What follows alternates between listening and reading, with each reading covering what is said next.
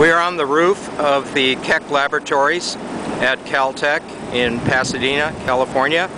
Uh, it is uh, 2.40 p.m. Uh, on June 13th. It's a sunny day in California. We see here a solar panel which is collecting incident uh, sunlight and converting it uh, into electrical energy. We're using the electrical energy uh, to drive an electrolytic system that's based on semiconductor electrodes coupled uh, with stainless steel cathodes. The semiconductor material uh, provides the anode uh, and the stainless steel the cathode.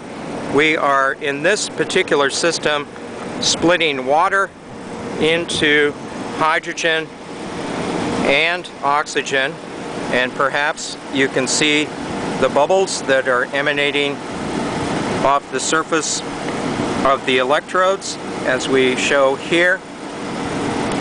This system is at a pilot plant scale and now we are viewing it from the side where we can see the electrode array and the stream of gas bubbles.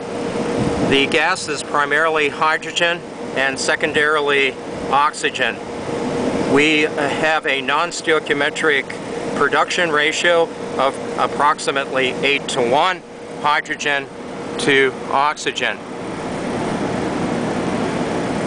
We can see that the panel is producing a voltage of approximately 2.6 volts and an amperage of 7.06 amps, which is suitable for driving uh, the electrochemical splitting of water. We use the hydroxyl radical, which is generated at the anode surface, to oxidize organic chemical contaminants, thereby purifying water.